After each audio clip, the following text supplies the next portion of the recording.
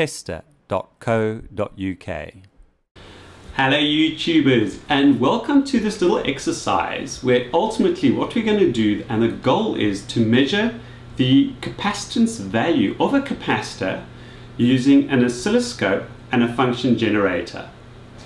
Now I must say I'm quite excited about this. It was something which came up ultimately when I first started reviewing LCR meters and I've only reviewed once. I, I did the review of uh, Frankie's LCR meter um, and in that I certainly hadn't had a lot of experience with LCR meters and ultimately from the readings that I was getting on that LCR meter, I couldn't tell whether the meter was accurate or not, or whether there were discrepancies with the capacitors with the capacitors that I was using and also the effect of frequency on the potential uh, readings from those capacitors.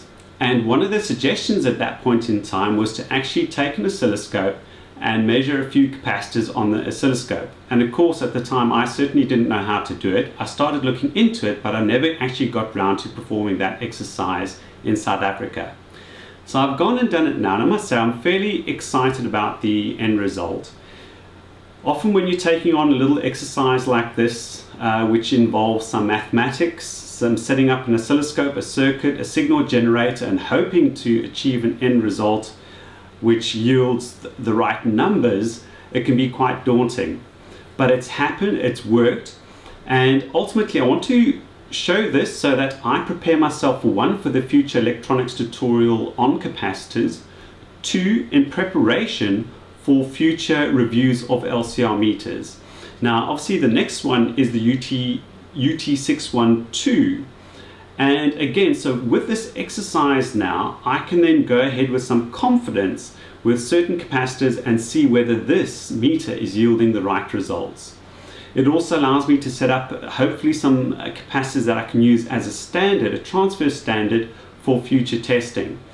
As I said, I do hope to get uh, a nice, good, high precision LCR meter, which will act as my reference on the bench.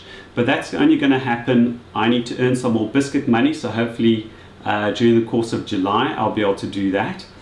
Um, but before then, I thought this would be a great little exercise. Now then, to kind of, I want to again plant some seeds before we get onto the bench and actually look at the whole uh, setup for this practical. Um, I'm not going to say that everything I do is going to be exactly spot on or correct. Hopefully it will be, and this is certainly something that you can try at home and don't be afraid of it failing or making mistakes because ultimately once you pull it together and get there and understand what you're doing, I think there's a lot to be learned.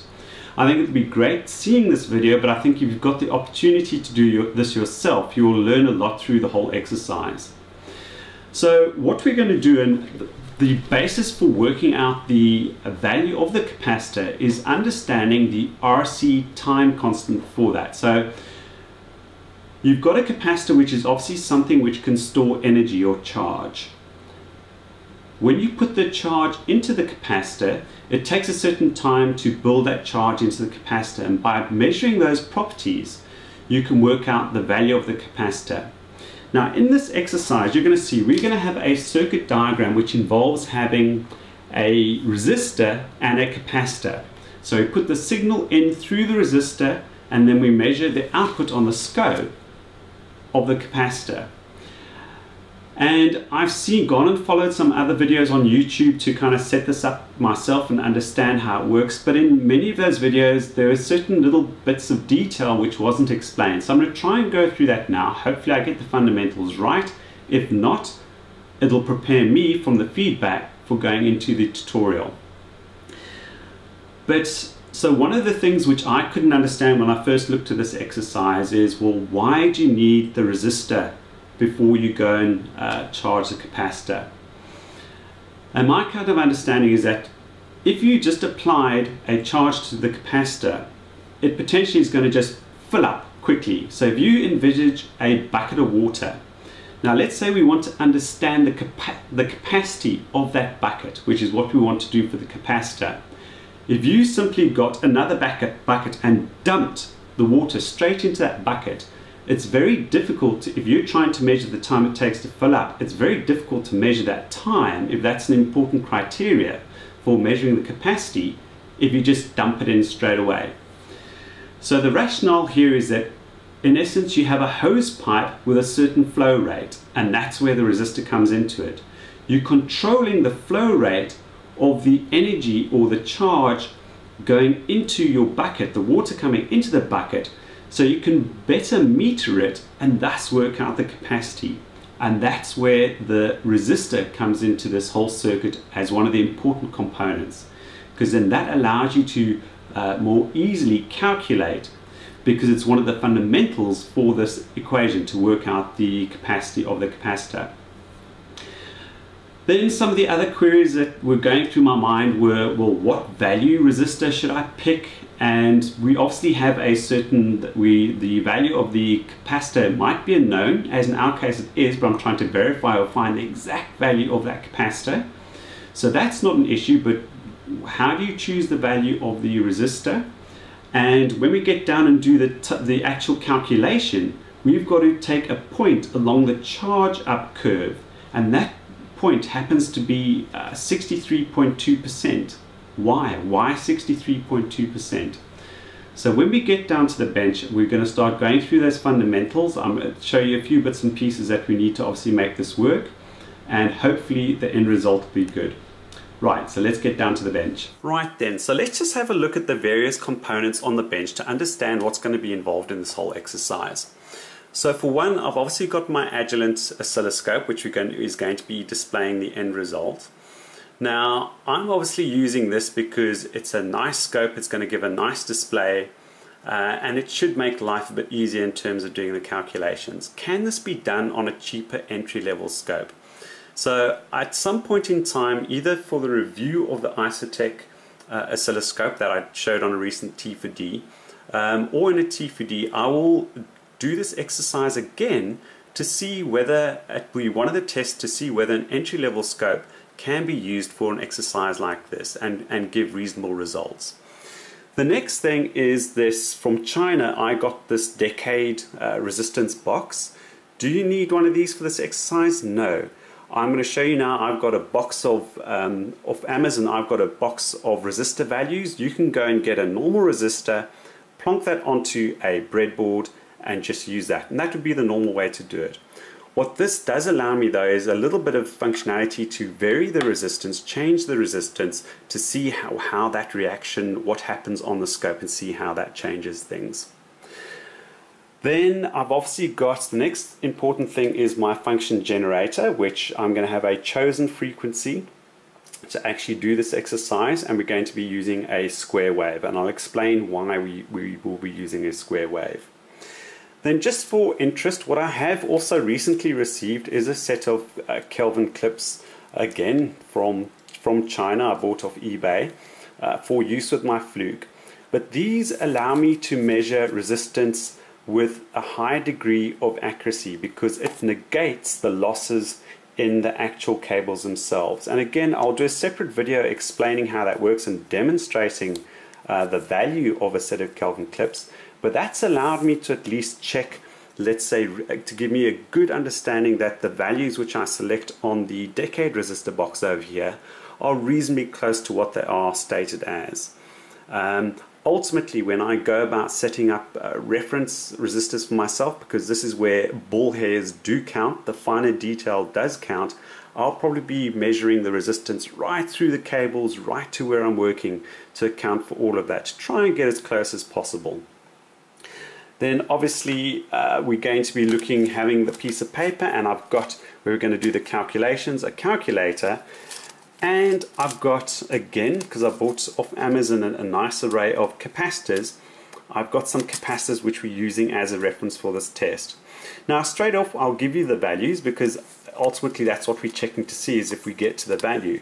So I've got a bag here and the one in fact under test at the moment is a 47 nanofarad We're going to repeat the test again with a 4.7 pico. So that should really change the results. And here I'm literally going to redo this without prior testing to see if that actually does work and whether we can get a result. So at least we can see we've got repeatability in the test itself. So let's go and have a look at the theory quickly and then we'll set up for the actual test. Right, so let's kind of look at the kind of practical setup and the theory behind what we're trying to achieve. And as I said here, that for me this is a dry run in preparation for uh, future tests and the tutorial. So certainly if there are any mistakes or what have you, let's have a chat about it in the comments so I can pick up on it and make sure I get it right for the final tutorial. So this is the circuit which we're going to be using to find out what the value is or test for the value of this capacitor over here. I, over here you can see I've noted that I'm using a 1K or 1000 ohm resistor in the circuit. You can use another value, that doesn't matter because ultimately you just need to place that value into the equation. But sometimes if you uh, are kind of working with a particular circuit and trying to work out a time function, well then you, you're going to be selecting certain values or working with a predetermined value. I've chosen this and I'll show you on the scope that by varying the value you can get a kind of cleaner or nicer output from your uh, waveform that comes out of the capacitor depending on that value. So I've gone and selected the 1K literally because of that and I'll demonstrate that on the scope. We have a signal coming in, a square wave. Why a square wave and not let's say a sine wave? Well ultimately one of the important criteria in this equation is time. And what we're trying to do is put a constant charge up on the capacitor to see to work out its capacitance and a square wave has got that constant on and then it goes off and a sine wave it's varying it's building up. So it's not constantly on and then it's going down at a different rate. So that's why we want a nice clean sharp edge square wave for this exercise. So what we're expecting to see out the other side then is a wave something like this. And if you un understand if we're putting in a square wave the capacitor is going to start charging up, building up the voltage in it, and then it's going to reach its, its voltage level for what you're putting in. And again, so that's something which you can obviously vary. For this exercise, I'm using a 1 volt peak to peak voltage. You can obviously use different voltages. Um, what you obviously need to bear in mind is that you don't want to exceed the rating of the actual capacitor itself but the voltage level per se doesn't play a part in the equation, so that's not too much of a problem. Also, I've noted that on LCR meters that test capacitors, they work from kind of 0.1, 0.2 volts up to 1, up to 2 volts. So that's kind of why I'm playing in this area as well. So obviously on the output we get this nice curve as the capacitor charges up, it's then charged, and then when the wave comes down, the capacitor discharges fairly quickly and it repeats the cycle again. And the important part that we're looking for is we know the resistance part because it's predetermined in the circuit. We, we don't have the capacitance, that's what we're looking for. So this, the equation which defines this is T is equal to RC. And if we're looking for C, therefore C is going to be equal to T divided by R. So we need, the missing component for us is the T, is the time. And that's the time to charge a capacitor. And if I just take a rough dotted line down here, if we looked at those dots I put over there, you can see that they right at the bottom when the charge starts and goes right to the top. Now, is that the, the correct time period that we need to measure from right at the bottom to the top? No, believe it or not. What we need to do is measure at up at when the, the level reaches 62.3%. 62.3% of that level from here to there. If you don't start off obviously at zero, which is where we are going to be starting off, you, it's the 62.3% of the difference. But in our case, because we're starting off at a baseline of zero, it's 62.3% is the level you're going to measure to. So up at that point, that's where you're going, going to take your line and then that becomes your time measurement that you're looking for, your T. The 62.3% basically comes from the constant E. Now, again, my mathematics is not my strong point, but I do enjoy applied maths. I'm going to put a link below where you can go and read um, a wiki article about the constant E. It occurs naturally and it also describes the curve of a in a an exponential equation.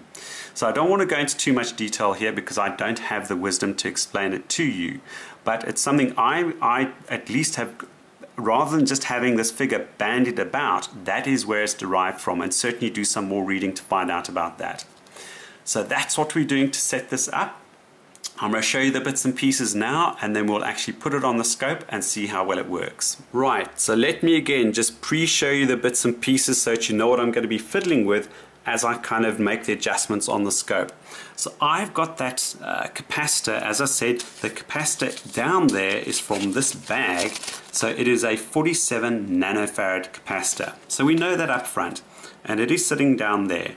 And I've got the function generator connected across it or through uh, with a the resistor, the decade resistor boxes in the circuit as well, it's back here.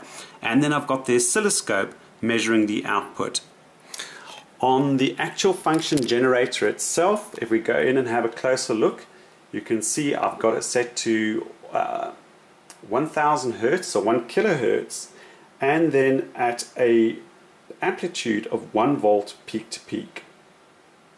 So we're all set to go.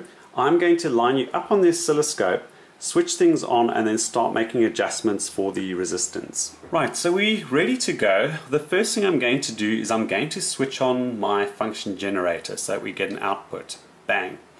Now I've gone and preset obviously the adjustments for the volts per division um, and the time base just so that we get a nice signal in screen. As I said, if that's something you want to see, then certainly I've got a tutorial on oscilloscopes which I'm continuing, which you can obviously go and watch and see how that's done.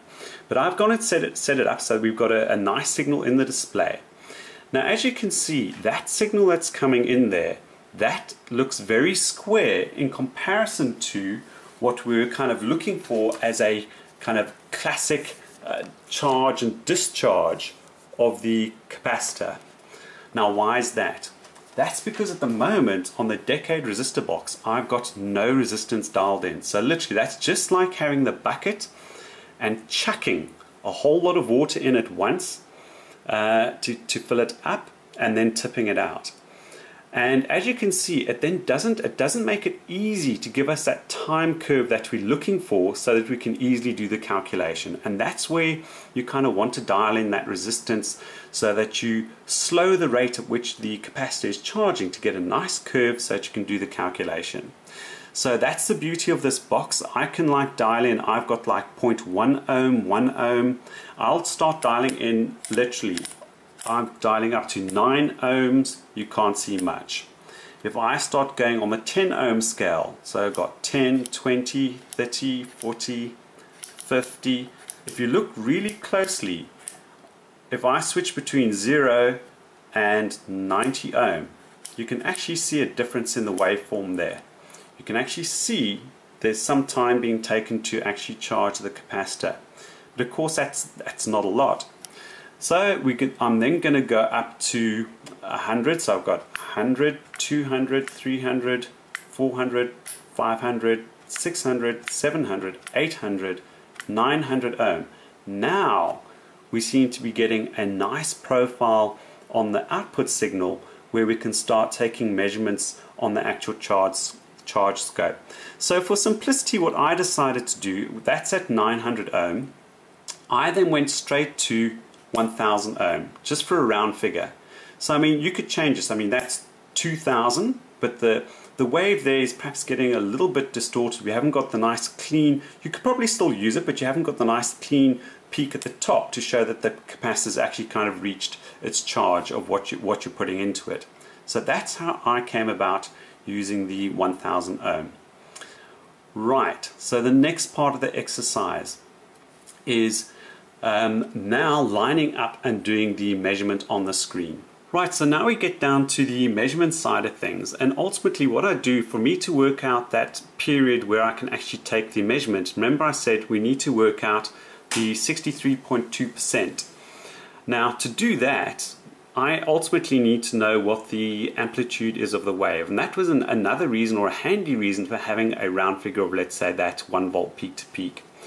So let's now go and switch on the cursors and I'm going to have to do a little bit of fiddling here to go and measure that. So at the moment I'm uh, changing the kind of X uh, cursor and I want to be changing the Y so that we can go and get that amplitude so right. So what we're doing, I've got the bottom cursor, I'm adjusting that to the bottom of the wave. I'm now going to, that was Y1. Now Y2, we're going to take, and that we now got the measurement for the top of the wave. And if you look very closely over here, it gives you the delta, the difference between the two. And again, without splitting too many ball hairs for this exercise, but I said for me later on, even these smaller figures are going to be important, you can see it's noted at 1 volt, just over 1 volt, so 1.01325 volts as a matter of fact, peak to peak voltage. So that gives us a nice clear indication. So what I'm going to do to make to get that figure then, because it's now straightforward, it's one volt, I have to move down to about 63, 632 millivolts. So let's bring it down, bring it down. 63 Okay, so I can only go to 632.5, but that's fine because it's 632, so that is 63.2% of the total. So that makes getting that calculation easier. So that gives me the point on the wave here, according to that uh, constant that you got to measure to. So you're going to mention your, measure your time period up to that point to get your time. So now we're going to start fiddling around on the time axis so again, we go and what we need to measure is to go and change the x. We'll do x1 and I'm placing that right at the foot of the wave. Okay, and I'm obviously only using my eyes. I could zoom in if I really wanted to get it there, but it's fine. I'm quite happy I've, I've got it there. Now I'm going to select uh, the X2. So that's our second cursor and I'm going to take it up there where it intersects with the wave right over there. So let's have a look. And I think I've got it on and look so now we've now got the delta x and that delta x is the is the difference between the two cursors over there and that figure is 50 microseconds so now we've got all our figures. So just note that 50 microseconds, relatively straightforward to, well I say straightforward to set up. It's, it's good to have an understanding of where and why you're making those adjustments. But now we can go down to the paper and see what, what that brings us. Rightio, so down to the theory and see if it actually matches up with the practical. So we've got C, our capacitance is equal to T time over R resistance. So if we go and put in our values now, so I said it was 50 microseconds. So what is that? That is zero. Let's double check I get it right. So the, if we go three zeros, that would be milli. If I went down to another three, would be down to micro. We've got 50 microseconds. So that's going to be five zero. So let's check. Down to here is obviously we've got milli down to three places. Down to six places is going to be uh, micro. So we've got 50 microseconds. Right, and that is going to be divided by uh, our resistance. And we know our resistance, it's a known value. Remember, it's 1K or 1,000 ohm. And we measure, and we're obviously working in ohms, so that's over 1,000. And let's get the calculation and do that. Right, so I've got the calculator out. I'm just holding it up at funky angle just so I get the light uh, right. So we've got 0 0.12345 for fun. I'll put the last zero on, but obviously it's not required. And I could either say divide by, but because I've got this nice calculator, I'm going to say over 1, 1, 2, 3, 1000. Okay, and if we go equals on that, we get that kind of representation. I can change it, and that is saying how many zeros? 0 0.00000005. So let's just write that down. Zero point one, two, three, four, five, six, seven.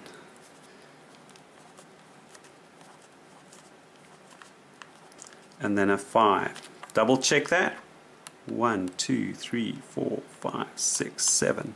One, two, three, four, five, six, seven, and a 5. So what's that equal to? Well, if we put little commas in for our, so that's going to be um, and if we had a, added a zero there, because that would be, just to kind of get it right, would be down to uh, milli, micro, nano. Okay, so that is 50 nanofarad. Let's have a look at the packet. Our packet of capacitors says 47 nanofarad. So look at that. It looks as though it's all worked out. So there's obviously a certain tolerance on the capacitors themselves, um, but that one seems to be spot on 50 nanofarad. And there you go. It's as, I'll dare I say, as simple as that to actually use the oscilloscope and a function generator to work out the value of a capacitor. Now, potentially, what could change this is obviously certain capacitors will, uh, with the frequency, are going to change in value. So what we're going to do again, I'm going to repeat this whole exercise with the, as I said we would, with a 4.7 picofarad capacitor. I've not done this, so things may come undone. We're going to do it with this uh, capacitor, and I'm going to change the frequency. So I'm going to change the frequency, we'll play around with the resistance to make sure we get a nice shape, just to see how, whether things work out the same. And just before we do that, I just want to note, although I did it correctly on the oscilloscope, I put down the figure here of 62.3% on this diagram. That was wrong. It should be 63.2. So that is wrong. So just to note that I transposed the uh, 2 and the 3. So it should be 63.2 uh, percent of up your uh, charge cycle over here is where you take a measurement. I did it correctly on the scope, so that's why fortunately the calculation wasn't uh, incorrect. But anyway, let's move on to the next one. Right, so I've got the uh, 4.7 picofarad uh, capacitor sat in there. I've got obviously the both the scope and the uh, function generator connected. I've got the decade resistor box on the side here. I'm going to start off by using the same frequency as I did before, a square wave 1 volt peak to peak at 1 kilohertz. And let's see what result we get on the screen. So I'm going to line up and then switch on. Right, so I've got the oscilloscope on. I've just switched on the function generator. Oops, and what's that? It looks like we've got some artifacts on the square wave, but let's just work with it for now. Um, I'm going to dial in the 1000 ohm and we can't see any change in the kind of leading edge to that. I'm going to dial in, let's go to, the, let's, I've got right at the top end 90, 90k if I, if it's, if I'm reading correctly, yep. And it's having some effect, but not, okay, and so this does make sense. I've got a lot smaller capacitor. So it's like having a very small bucket.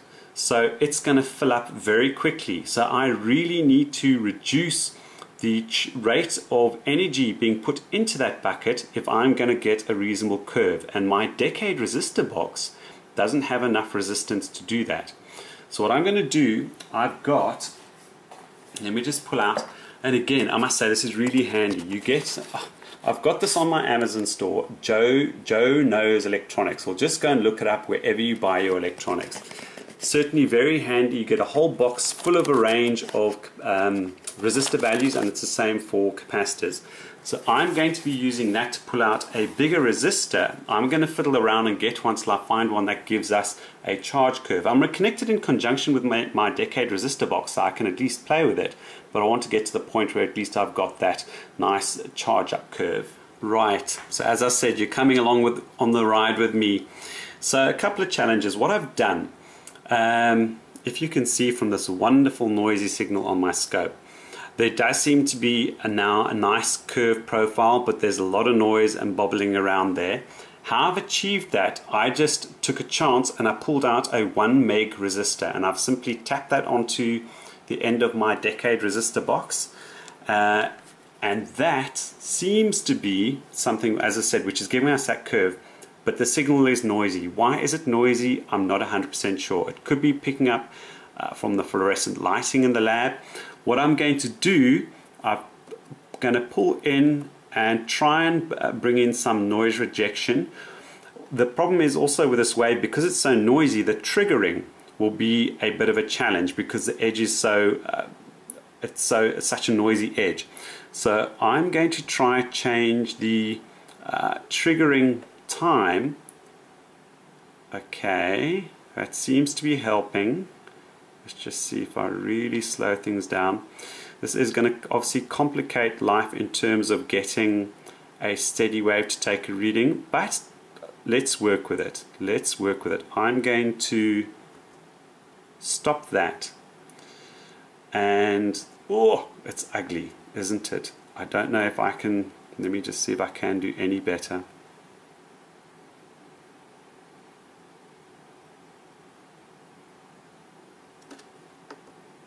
Don't think I can. Let's just see that. We work with that, scale it up, and then that'll make it easier as opposed to having a smaller signal and working to small noise. If I'm working off that, that should make life easier. So I've, in essence what I've done, I've zoomed, I've obviously slowed it down, I've zoomed in to work with what I've got. I'm sure there'll be people shouting and say, well, there's this and that you could do but I've worked with the controls that I know about and let's just see. Let's just see where we get to. So let's just pull in the cursors and what we're going to do again we'll work with the um, first of all we want to actually work get the actual height of the wave. So let's work with we need to work with y1 so I'm obviously again measuring the height of the wave to get to that 63.2%. Uh, Let's just make sure, yeah, 63.2% is what we're looking for. So I've got the bottom of the wave. Um, we now want to go for Y2, the top of the wave, measure to the top of the noise. Let's just see, okay, so that's giving us a signal of 978 millivolts which is less than the, obviously because of the noise and what have you, it's not quite our 1 volt peak to peak, but again, let's just stick with it and see how we go. Uh, let's go with now X1.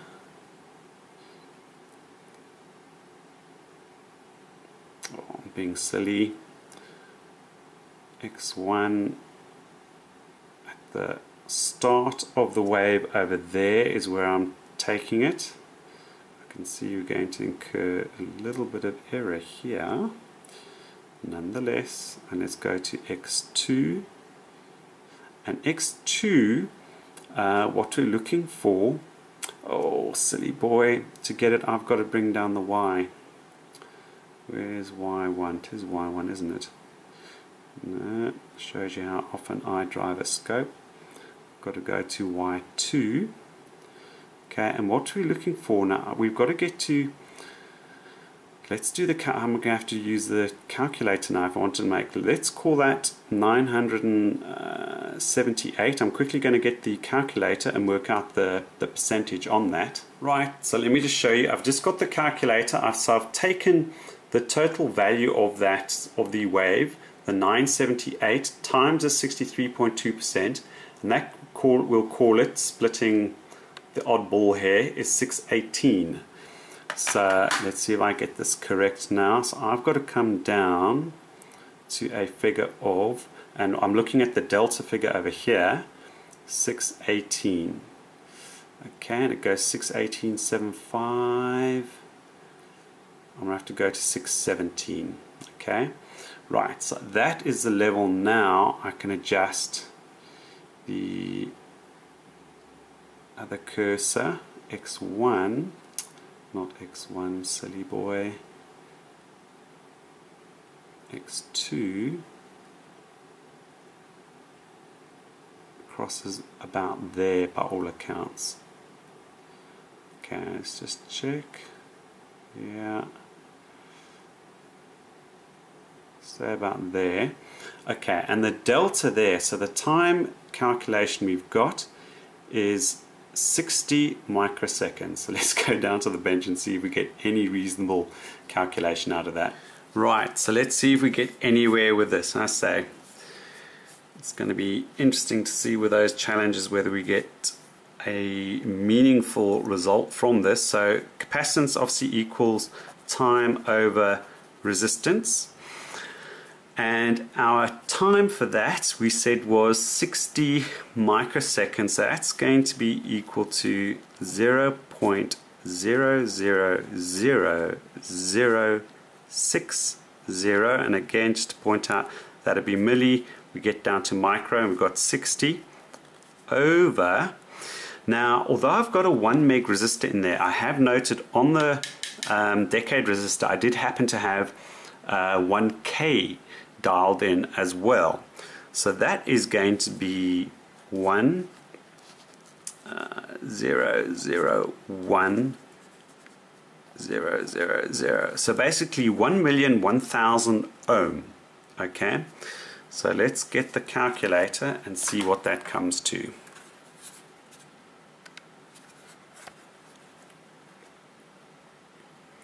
So 0 0.12346 over 1001000. We got that right? Four, is it? yes, and let's go equals Okay, and that's 5.99, I'm going to take it, to the minus 11. So I'm going to jot that down on the paper so it's more of a meaningful uh, reading for us. Right, so that turns out to be um, 59.9 picofarad, which is definitely wrong because you know, had it been, and I've double checked myself, obviously to the minus 11, so minus 12, we'd now would be talking pico, and it's an order of magnitude out. Had it been 5.9 pico, then I would have said, okay, down to the coarseness of the calculation, what have you, uh, that would be in the realms of uh, the 4.7 but it's not. It's an order of magnitude out. So where have I gone wrong? So I'm going to go away quickly and fiddle and change frequency and mess around and see if I can resolve this because I cannot see from here where I've gone wrong. Right, so for the life of me, I cannot figure out where I've gone wrong. It's probably something really simple and I'm looking at this and I'm not finding it. I think there's perhaps a couple of issues that are coming into play here. Once you're certainly uh, going down to uh, this level of small capacitance uh, and setting up on the scope, I think perhaps I'm obviously entering a level where uh, it's very difficult to measure that because you of the range you're working at and the potential noise. I'm guessing here, open for debate. So I'm going to retry the exercise. I'm going to go further, as opposed to going down from where I was with a 47 nano, I'm going to go up. So I've grabbed a 0.22 microfarad capacitor. I'm going to set that up. Um, again, I'm going to do it at a, at a, different frequency. I'm going to choose this time to do it about 100 hertz. Uh, we'll work out again what the, the ideal resistance is, and then we'll do the calculations on that and see if we come right. Right, so just to show you where we are, I've got the function generator set up for this time 100 hertz. So again, we're trying this whole exercise uh, at a different frequency and I've got the uh, point, what was it again, 0.22 microfarad capacitor is set up over there And on, I've got the scope ready, so I'm going to line you up on the scope and I'm going to switch it on and we'll start doing the measurements. Right, I've got the camera ready. I'm going to switch on the function generator. Bang, and there we go. We've got our square wave coming out at 100 hertz and it should be at still at the 1 volt peak to peak. So what we got at the moment we obviously cannot see any um, of that nice charge. I'm going to try and get one wave in there. So what we're looking for again is that nice charge curve that we can actually measure. So I'm going to start dialing in. Okay, so I'm starting, let's go for obviously 10 ohm. Okay, and if you look carefully, you can see that does is doing something. I'm going to go for the times 100. So we've got 100, 2, 3, 4, and we're certainly starting to get, and we, okay, so let's go to 1K and there we go. I kind of like the shape again at 1k so I'm going to use that. Let's just make it go in a little bit closer so that we kind of get a nice area to actually measure. So I'm going to start putting the cursors in on that. By bringing the cursors uh, what do we want to we want to set the height get the amplitude of the wave first so that I can obviously set the 63.2% level. So where is Y1 should be at the bottom. Let's check we've got it at the bottom. And there again as you can see so I've got that that delta of about one one volt peak to peak. So that's great. That makes it easy for me. So now I have to go back to uh, Y2 and bring it down. Again we're looking at the delta down to 63.2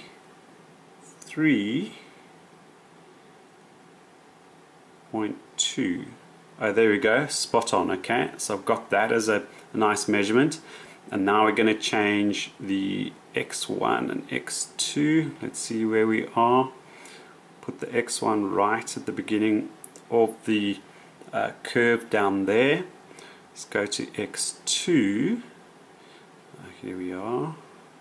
And that we want exactly on that point over there basically. Bang. So that looks about right.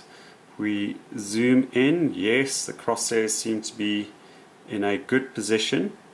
So that is 220 microseconds right? So we've got that reading. We know what the resistance is. Let's get back down to the paper again Right here, so we onto the paper. We time I said just looking at the scope 220 microseconds. So that's 0 0.000220 because obviously we've got uh, milli down to micro, so that's 220. And then that has got to be divided by, and we were back to the same 1,000, 1K ohms and let's get that onto the calculator. So we go 0 0.000220 and this time we'll just go be simple and divide by 1 1 2 3 equals. And that is 0 point how many? Six zeros. Six two two two Is that right? Have I counted correctly? So that's milli, mic, micro. Ah, so that's correct. That gives us our spot on 0.22 microfarad. So if we had to bring the comma right down, we obviously uh, come down to there to get to micro, and that would be 0.22 microfarad. Okay, so that worked out. So let's uh, sum that up. Right then, so I hope you found that exercise of value. Um, I'm still stumped as to why the why I couldn't get the, the middle one right with a very small capacitor value. Um, I'm sure someone's going to jump in and say it's that and I'm going to kick myself. But I think it's a good thing to see where it goes wrong as well. There's a couple of reasons. When, when someone first said to me, you can go measure the capacitor of a, or measure the value of a capacitor on an oscilloscope using a function generator, I immediately, I immediately felt a little bit intimidated about going through that exercise myself. And as you can see, I've gone through it. It's very doable. You can make mistakes and things might not work out, but try it again until you get it right. Change the frequency, the resistance values, the capacity you're measuring, try and get another one to try and make it easy for yourself and you see what the end result can be. So I'm really chuffed at the end of the day what can be achieved by that. I plan to use that method to perhaps measure out uh, very accurately, noting using the Kelvin clips to measure out the exact resistance, um, getting very zoomed in very closely in the scope to make sure I get the measurement points exactly in the right place, and try and set up a few reference capacitors if I can. And then correlate that to proper measurement devices, LCR meters, to see a precise one. So we can do a comparison of what a scope can do versus a precise LCR meter. And then that gives us a good reference point for doing the cheaper LCR meters. But anyway, I await for your comments. Hopefully it's been of value, but I'll catch you soon for the next video. Cheers. Tester.co.uk